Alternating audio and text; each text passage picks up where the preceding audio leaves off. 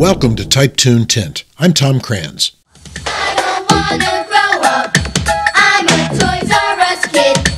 A generation of shoppers remember Toys R Us as the ultimate toy store. Today's guest spent almost 30 years working for Toys R Us in various capacities. Sal Panicci answered an ad in the Newark Star Ledger for what was simply described as a job in retail. He soon learned all about retail, toys, and the people who buy toys, and he wrote about it in a short book called In the Toy Box. And I'm joined right now by Sal Panicci from his uh, palatial estate in North Jersey. Uh, nice to meet you in person, Sal. I just read your little book here, and we're going to learn all about you and your life uh, as a toy mogul. Uh, tell me, where in New Jersey are you right now? Tell us what town you're in. I am in Woodland Park, which is kind of west of Paterson, and it used to be called the Old West Paterson. And you're a Jersey guy through and through, right? Born and raised. Absolutely. There's no place like the Jersey Shore. That is true. And I'm a Philadelphia transplant, so it it was a bit of a it was a sell job to get me to Lake New Jersey, but I would say the shore is probably its main uh the, the thing I would miss the most most likely. I wouldn't miss yep. the taxes, I wouldn't miss the car insurance, but I would miss the shore for sure. So you um I'm going to we're, we're talking here today about your book in the toy box. I have it here. It's a very short book. It uh, only took me about an hour to read. It's like 38 pages. It looks to me like you had a lot to say, and then by the time you had it printed, it was not maybe as long as you thought it was. But it gives you a little bit of an insight into the toy business. And I was first attracted to doing this interview because I also worked in the toy business in my youth from about age 17 to age 21 or so, maybe 22. Um, I worked at an independent toy store in Philadelphia, the All New Discount Toy Center, and I a lot of the things you talked about uh, rang true with me in terms of the customers, the toys, the competition, how crazy people get when they see a toy that they absolutely have to have, and they'll do anything to get it. Right, and we'll talk more about that. Tell us a little bit about your background. So you're from New Jersey. Where you know where'd you go to school? What'd you do? And how did you end up working for Toys R Us? Um, I went to Seton Hall University. I went to Don Bosco Tech, which was a very nice high school. Uh, and then I ended up going to Seton Hall University because my guidance counselor and best friend in Don Bosco High School filled out an application form because I was not college minded whatsoever. Uh, and he ended up getting me basically for college back then. Um, total, I ended up paying two thousand dollars for four years, which is unbelievable. Wow. That was at Seton Hall. That was at Seton Hall. Yeah. And what year was that? Oh gosh, it was nineteen. I graduated in '72, so it was 1968. Okay. Yeah. Wow. That's a bargain. Well, I went to Temple as an in-state uh, resident, and my dad got a little scholarship from uh, his work. So I ended up going to Temple for four years for, I mean, maybe two thousand dollars. Those were the days, man.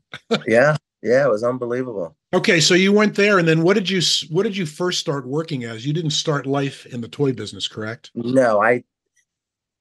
Well, at right after college, I ended up going into the National Guard. It was either National Guard or being drafted.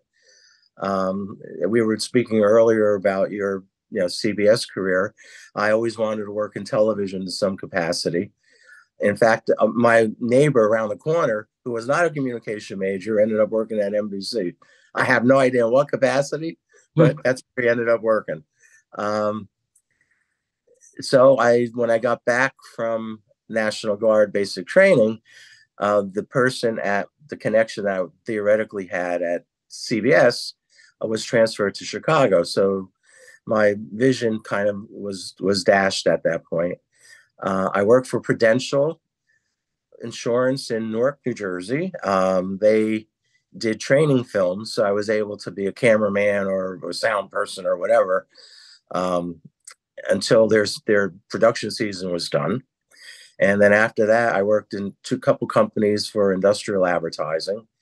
Um, and every every year, two years, I was being laid off. So after five years, six years of that, uh, a friend, that's when a friend of mine said, well, why don't you try retail? They never lay anybody off. So I, I well, that was then, this is now, right? then and now. Um, I Hmm. saw an ad in the Newark Star Ledger, if you could believe. Nobody know, even remembers what that paper was. I know. I, I that's how I got my last job, by the way. Yeah, I looked Oh, in really? the Sunday ads and I, I applied. And go ahead. I'm sorry. Okay, Yeah. so you saw this ad for retail. Yeah. I mean, uh, they're looking for somebody who's a self-starter, creative, blah blah blah blah blah. And I said, well, that's me. Why not? I'll, I'll, I'll apply. And two weeks later, I got a call from this person saying we would like you to come and you know talk to us. And that's when I did. It was kind of a blind ad, and that's when I found out it was really Toys R Us. Um, and then he gave me a day to think about it. So, uh, do I want it? Do I want not not want it? Um, my unemployment at that point was about to run out, so I guess I wanted it. So I, I went for the interview and I got into their store training program, their management store management training program. Right. And so I think I remember reading that you weren't particularly like dying for this job, right? No, no. Uh, even then, even then, I knew what working with the public was like. It was Yeah. like, oh, yeah. Since I was part of the public anyway, and I know what I was like when something goes wrong, or I I don't agree with somebody, you know, in retail telling me to do something or not giving me what I supposedly was promised. So it was it was an experience. You, train uh, like a month in different different stores in the area, uh, because in the northern Jersey area, that you can go ten miles and the people's temperaments and whatever are totally different. Uh, you you can go over the river, New York. It's like the stores in Brooklyn, how they treated their customers, so drastically different than than the courtesy that we would al- allow, you know, a, a client in New Jersey. Okay, so, wait, so wait, you so the reason you trained in different places was because the customers were different and I guess the markets were different, correct? the markets were different, people's needs, you know, customers' needs were different. How different can they be? I mean, I, I don't I guess I Uh, you had a couple good anecdotes in the book about people in Brooklyn uh and also about employees at the Brooklyn store. But how I mean, give me just how can they be that much different? Uh, well, different areas that yet are not highly populated, so you know, there's not that as as many children in certain markets. So Yeah. the need for boys' toys or girls' toys or or or you know games and and puzzles and stuff like that. I mean, that it differs from store to store. And at that time, we actually before there was a Babies R Us, we sold a lot of uh, infant care items, Mhm. you know, in the store. So those needs changed and um store management definitely changed you could have we had good store managers and not so good store managers so you kind of saw the style and what kind of worked and what really didn't work All right, tell me what uh, what made Brooklyn so special. new yorkers are new yorkers. They'll always be in new york but there's such a difference between city new yorkers and borough new yorkers. And uh, and the more a customer demanded something the more management said no. It was better that you go into the store with a smile on your face and say i'm sorry you know kind of apologetic but this was bought incorrectly or this was broken when i got it and and and we got a lot of kmart stuff back to toys r us if they sold this and they'd come in with this the kmart sticker on it and you know people But Toys R Us gave the money, gave you gave refunds yeah, anyway. yeah, that was that was one of their the issues that really I think Toys R Us should not have had. I mean, we took everything and anything back, regardless of the condition and and that all that nonsense. But if somebody came in, you know, belligerent, the store gave it back twice as much, and it's you know as far as the belligerency goes, So going if- into the Brooklyn store with attitude was not a good idea, basically. not a good idea at all. That's so Not funny. In the store that I worked at, um, we worked. It was a neighborhood store in uh, a neighborhood of Philadelphia called Olney. It was on a shopping district. Again, I'm, uh, this was the late '70s. So, I mean, back in those days, of course, there was no internet, there was no digital anything, there was no Right. electronic anything. Right. You know, things that were big well, at the we time. started. We Mhm. started with uh, the Commodore computer. Oh, sure. we we when I started in the in the training programs in the store, we had tons of these big, huge, yeah, monitors, you know, Commodore monitors and and and computers, and it's like where we're going to be. Nobody knew what how to troubleshoot them or how to advise people on what to buy and what what their conditions were and all that stuff. Hmm. But we, you know, management insisted that everybody's getting into computers today, so we have to sell them. So Yeah. we did that. Yeah. Yeah, that was a prescient at that time, and look where we are now. So, I guess would you say that between then and now, we're talking what 40 years later, is that really the biggest change in toys, the electronization and the digitization of everything? I mean, kids are staring at lit screens now and maybe not playing with Tonka trucks as much, right? Right, absolutely, absolutely, and everything has an electronic component to it. You know, you the, the Thomas the Tank uh, have you know it's it's been electrified. You know, it used to be a little train on a track that you moved physically. Now you can buy like the, the you know train set that is electric. It's yeah. and, and you know nothing nothing is stable anymore. It's every everything has to move uh, or have a level or game level and all that other stuff. Yeah, amazing how that how that's changed. Um, so one of the parts of of your book here that I enjoyed most was reading about the Cabbage Patch Kids craze. So for those of you who are too young, Cabbage Patch Kids was a line of dolls, and I guess they each had their own personality. They each had their own name. There were babies. They had, were, they had the birth certificate. That's that right. They had the birth certificate. This was a huge craze. I mean, this was people went nuts for Cabbage Patch Kids, and you talk a little bit about that in my day, which was, and, and I worked in the business a little before you, we had a doll called Baby Alive. And Baby Alive was popular because you would feed Baby Alive and then Baby Alive would poop. So the whole thing was you had to buy Baby Alive and then you had to buy diapers. And yep. man, I remember our distributors only gave us like a case at a time. So that's six. And then for a while, we only kept them behind the counter. And if somebody came up and said, Do you have baby alive? We'd pull one out and say, Yes, we have it right here. What else would you like to buy? So, you know, it was like, t- tell us about the Cabbage Patch Kids. The summer before the actual Christmas craze started is when they actually started coming to the store. And in the working in this customer service area, you know, pe- people would bring it back for some reason. Uh, and everybody in the store said, "This is this is an ugly doll. Who, who the hell would want to buy one of these?" Things? Oh, so in the beginning, nobody really got the whole thing, right? No, no. And then I don't. Again, I don't know what their remember what their advertising was, but um, as soon as October hit, and I guess they started their Christmas buy in September, it's like all hell broke loose. Uh, with the first big ship, and I remember I was in the Paramus store on Route Four the first big shipment that we had gotten. The instructions were, and then we had a seasonal area. The, put put the, the, entire gondola in the seasonal area should be cabbage patch dolls. We put them out, opened the doors, and within a half an hour they were all gone. That's amazing. It's amazing, truly. And then the one day I was I was in the customer service area. It was ten o'clock in the morning. The store opened at nine. Um, and there there were kind of stragglers of dolls on the shelf yet that day. And all of a sudden, oh, this pack of women came because they were looking for a name because they, they had matched the name to their child and all this mm-hmm. other nonsense too. And this one guy couldn't get like to the shelf and he actually dove onto the center of the gondola, picked up his doll, whatever doll was there, and walked out to the, the cashiers to pay for it. Wow. But he dove over all these women. It was like amazing. So these dolls had names, and a big thing was getting a doll that matched the name of your kid. Correct, and that's wow. why year a couple years later they actually came out with the theme. Well, you could send the birth certificate in to wherever and change the name to, you know, your child's name or or whatever. So you can All actually right. Tell the, the little story about the lady with the twins. I was in the Totowa store. I was in, finishing my um, management training and it was probably after Thanksgiving, so maybe the beginning of December. This lady huffing and pretty pretty lady. She was huffing and puffing. Uh, she asked to speak to a manager, and at that point, no manager in the store wants to talk to anybody.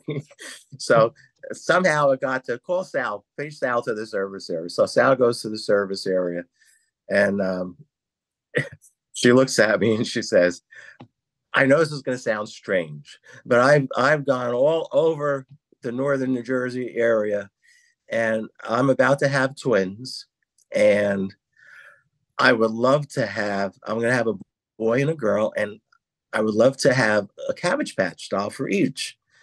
And she said, "Is there any way that this store can help me?" And I said, "Well, I'm not a manager. I'm only an assistant manager in training here." So yeah, I would love to help you, but put your name on. Yep. And then it was, I think we had index cards for the Cabbage Patch list. Mm-hmm. I fill out the, the, the index card and I, I'll place it as far forward in the list as, you know, of course I whispered this to her as I could. So eventually she, she did, because you know, I, I actually saw her come into that there were they weren't laid out on the floor. That they, they the store had to lay them out in the in the stock room, so mm. people actually had to go to the stock room to to pick up their doll. Um, so I actually saw her walking down this, the uh, the first aisle of the store one day, and I didn't think anything of it. And I think it was Christmas Eve or a day or a couple of days before Christmas Eve. The, the store, all management is in the store. I was paged to the service area, and I, I, probably should have pulled it down. I still have it up in my attic. Um, this man comes in with a ceramic Christmas tree that has the little lights on it. Um, and he said, Hi, I'm Mr. So and so. You helped my wife uh, get two Cabbage Patch dolls. And she, she, she insisted that I bring you this little gift. And I said, Well, I, I it was in the bag. So I, I said, I'm really not allowed to accept gifts. And he said, Well, I insist. So I put it in the management you know, room and locked it up. And I took it home and opened the bag, and it was that ceramic Christmas tree. Wow. So that woman, that family probably still remembers you from getting those dolls for her. I'm so I'm very unforgettable. So that, of course, of course. All right, so we're going to get back to more uh, stories about people and how crazy they can be about toys. But first, I'm going to do some shameless self promotion here for my new book, Lights and Sirens. Uh, it'll be coming out shortly. And as soon as I'm finished promoting that book, we will be right back with Sal Panicci. Everybody, don't go away.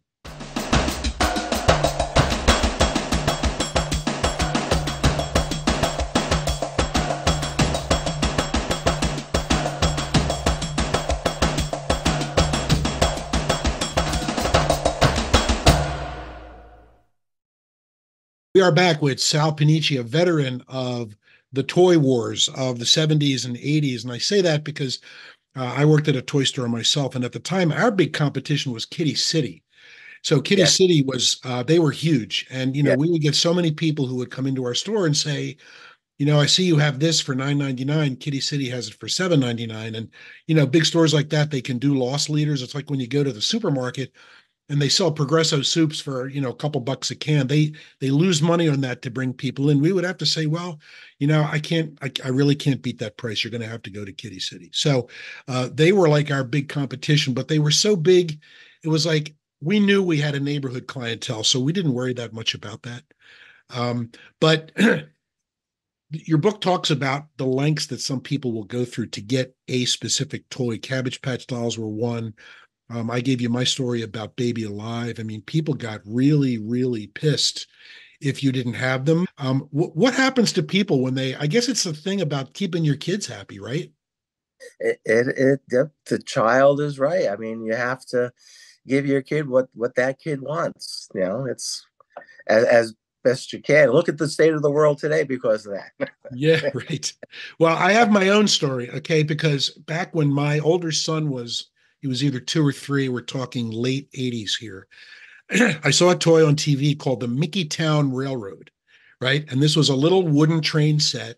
It was designed for young kids, big wooden uh, track pieces, and Mickey Mouse had it was a wind up train. It went in a circle. And I said, I must have that for Dan. I must have it. Every store around me didn't have it because it was very popular. At the time I was working at a TV station, and the consumer reporter happened to be doing a story at the Kiddie City somewhere in Camden County. She saw one, she got one, she bought it for me. I was elated. Dan opened it on Christmas morning. He played with it for five minutes and then he never touched it again. Yeah. So that's my story. But I I recognize I had to have that, you know, and I just don't I'm you know, I'm a rational guy. I don't know that I would have dived, I would have dived across, you know, a group of people to get it, but you must have dealt with like a lot of customer service kind of stuff, right? Oh yeah. The the the the, the worst always sticks out. Um, again, in Paramus on Route Four, that that was the busiest. It was closed because of the blue laws on, in you know in Bergen County. It was closed on Sunday, hmm. but it was still the busiest store on the East Coast, if not the chain at that point in time. Yeah. and a lot of people would come from the city, from New York City, to to shop there because it was right on the on Route 4 mm-hmm. so they could take a bus down or yeah, basically a bus. Um, but there was this one lady, and again, it was Saturday morning. People go to breakfast and then they come shopping. Well, something that she had for breakfast did not agree with her, and Uh-oh. yeah, she she let it go behind the wall, let it go in front in the in you know on the main aisle so we could clean it up. then you have to try to find an employee who's willing to go behind that wall and and clean it up before it starts smelling. Guess who the employee had to be? Because my all my employees said no, no. What are you gonna do? You got to do what you got to do, right? Me. It was me. Um, and then she comes out, no apology, no, I'm so sorry, no. Yeah, yeah. she walks out the store. Yeah, yeah she's like, probably humiliated, you know. Let's talk a little bit about your book. So, uh, when did you write this, and why did you write this? Uh, I wrote that probably about three years ago, and I wrote it so that I wouldn't forget what happened for the most part. And I am writing the sequel in the plastic toy box right now, which is my experiences at corporate, uh, Toys R Us corporate. Um, and it's just, I had I had nice experiences. I had some not nice experiences, but you know, you should write about what you know. And I didn't really know anything until until I was let go at Toys R Us, I guess. And then I, I realized, oh, I know all this stuff. I, I could write a book. Why not? Now, tell me a little about your writing process. Did you just sit down one night and just puke all this out at one time, or did you write it over a period of time? And how did you do that? No, it was a period of time. I have the outline. Um, yeah, like the corporate one, it's um, I'm going through the different phases and and I'm and responsibilities that I had at corporate, and just gonna write about the the good experiences that I had in each of those. So it, it, you know, it's a process. It's like anything else. So for in the toy box, you wrote it. You did an outline, or did you? Yeah. Do, you had like a checklist of things you wanted to talk about, and then you just basically wrote about them. Yes, absolutely. And how long did it take total? Uh, it took about a year. It's now life after Toys R Us. What are you doing with yourself uh, after Toys R Us in New Jersey?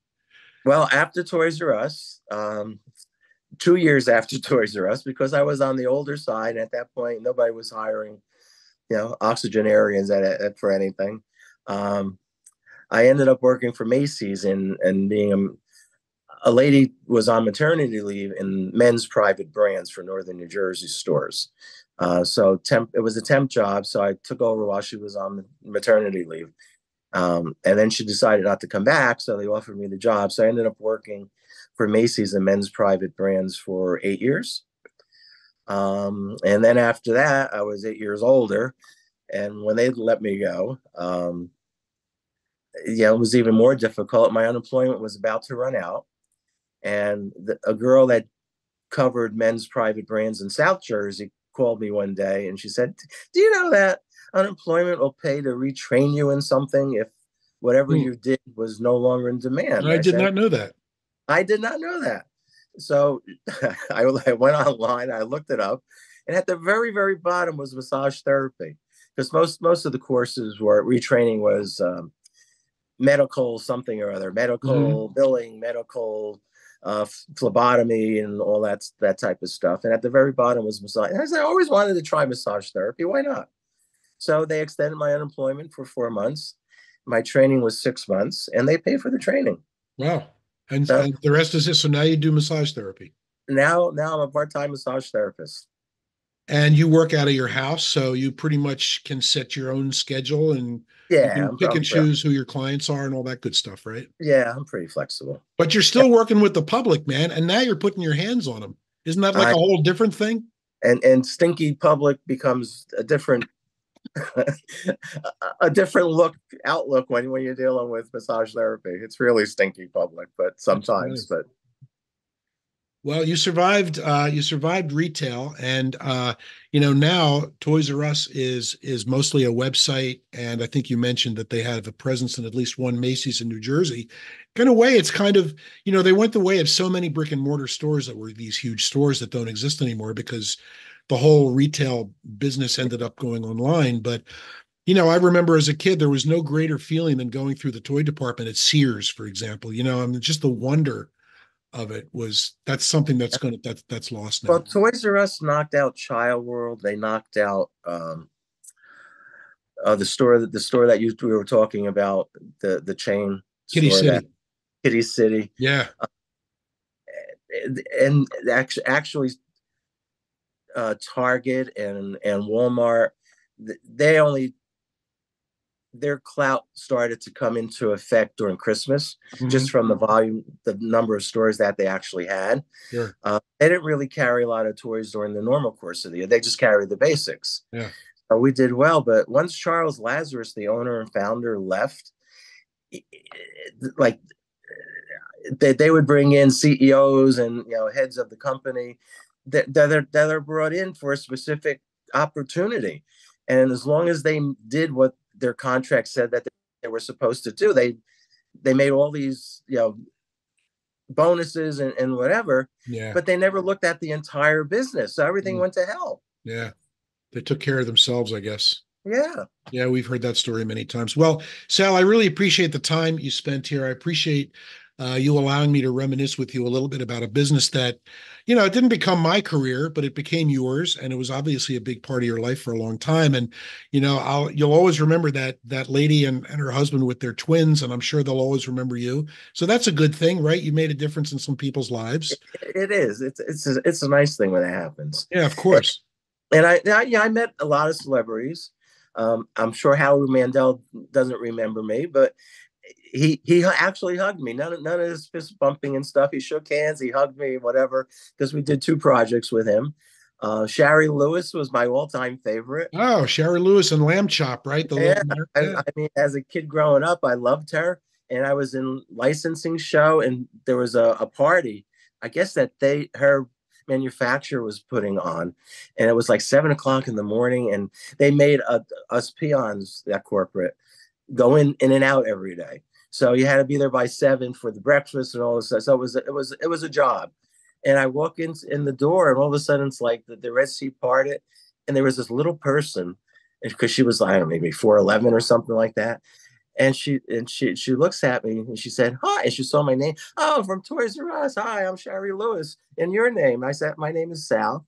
And she said, Morty, come over here. I want you to meet Sal from Toys R Us. it was wonderful she she was a wonderful, wonderful lady. Uh, that's a great story. So, folks, uh, the book, or should I say, the booklet, is in the toy box by Sal Panicci, my guest today, available on Amazon for a little bit uh, behind the curtain in the toy business and in dealing with people. Sal, I really appreciate you joining me. Good luck to you. Oh, thank you. I appreciate the opportunity. You got it. I don't want to grow up. I'm Toys R Us kid. They got a million toys at Toys R Us that I can play with. I'm a Toys R Us kid. They got the best for so much less. You'll really flip your lid. From bikes to trains to video games. It's the biggest toy store there is. Gee whiz! I don't want to grow up, cause baby, if I did, I couldn't be a Toys R Us kid. Once a Toys R Us kid. Always a Toys R Us kid.